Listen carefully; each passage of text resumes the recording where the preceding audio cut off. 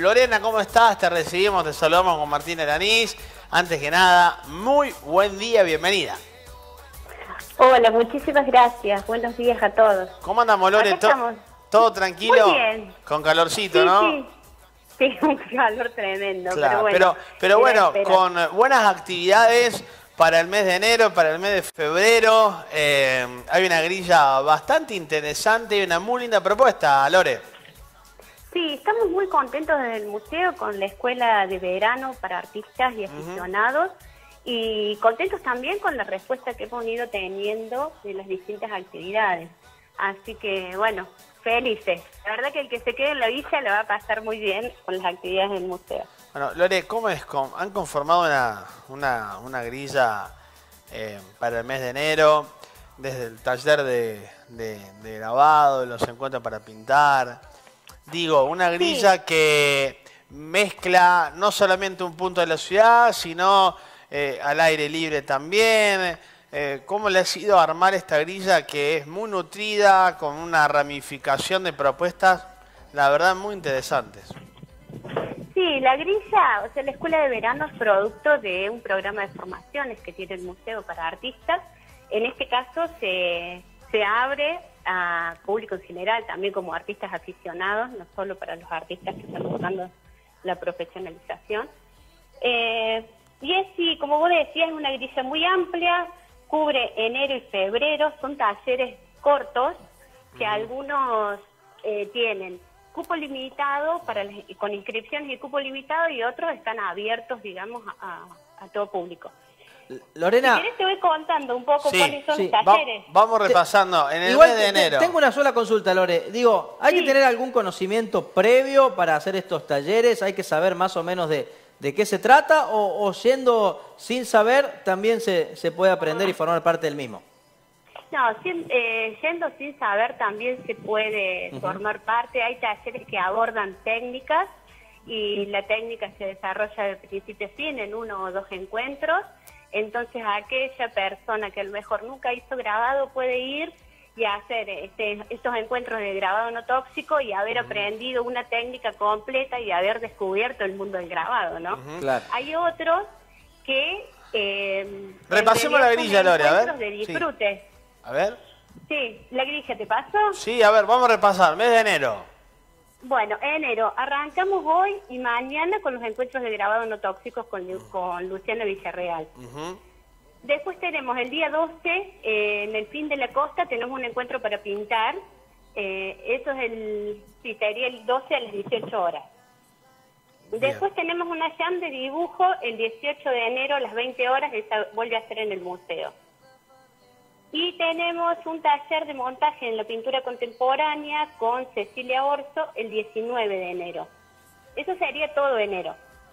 Bien. Tanto el encuentro para pintar en la costa como la jam de dibujo, o sea, es un encuentro de disfrute, digamos, y esos no requieren inscripción previa, nada, no hay cupo limitado, es, abierto, digamos. Ok, muy bien. Eso en el mes de enero, sí. Sí, pasamos febrero. A ver. Tenemos el taller de escritura para artistas que arranca, tiene dos encuentros, el 1 y el 8 de febrero. Es con Franco Gerarduzzi. Bien. Después tenemos el taller de cianotipía con Enrique Martínez, 2 y 3 de febrero. Son dos encuentros también.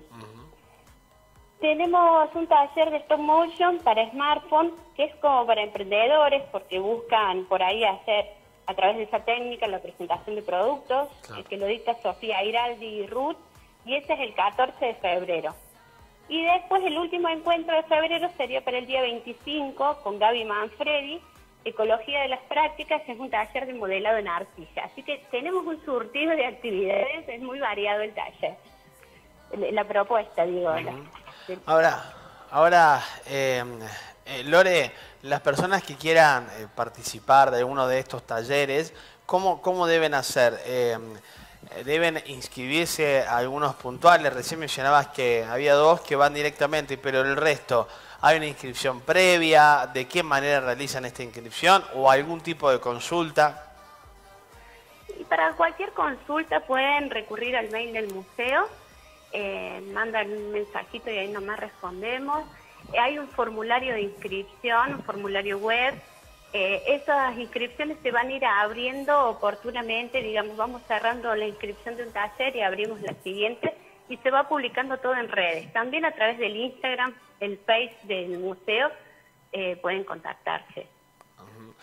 esto, eh, Lore, uno cuando va viendo la grilla, lo que puedo observar es que son propuestas, o da la sensación, que son propuestas en las cuales ustedes vienen trabajando ya anualmente. No digo que haya sido fácil conformar eh, una, una grilla como la que han conformado, pero en un punto sí. ¿Y por qué? Porque cuando uno viene trabajando anualmente con estos talleres, con este tipo de propuestas, con gente que aborda este tipo de propuestas, bueno, después de una u otra manera es más fácil poder eh, diagramar una, una grilla. Digo, hay un trabajo anual eh, con, cada uno de, estos talleres o estas propuestas que ustedes han eh, marcado en, esta grilla para el mes de enero y febrero. Mira, hay algunas propuestas que han tenido eh, unos, unas activaciones antes. Pero en realidad esto me parece que vos notás tiene que ver con una trayectoria del museo de trabajar con la comunidad. Tal cual. Eh, de reconocer por ahí algunas necesidades del sector y de brindar siempre estos programas de formación para los artistas que, bueno, ahora en el contexto de verano se transforman en esto, en talleres más cortos y abiertos por ahí también para aficionados. Pero siempre eh, siempre esto, tratando el museo de estar cerca de la comunidad y de ser posibilitador de nuevas prácticas y de nuevos encuentros e intercambios, ¿no? Tal cual, ¿eh? Y aparte de una escuela de verano para, para artistas que llega, imagino, ya para quedarse con esta propuesta, porque la grilla es muy nutrida, abarca todo el mes de enero, todo el mes de febrero, así que me parece que esta grilla ha llegado para quedarse. Lore, queremos agradecerte el tiempo. Un abrazo grande para vos, para toda la gente del museo también. Y bueno, seguiremos de cerca cada uno de los talleres durante el mes de enero y el mes de febrero. Te agradecemos mucho, Lore. Buenísimo. Bueno, yo agradecía con ustedes que nos ayuden con la difusión y bueno, estaremos en contacto entonces para los próximos eventos.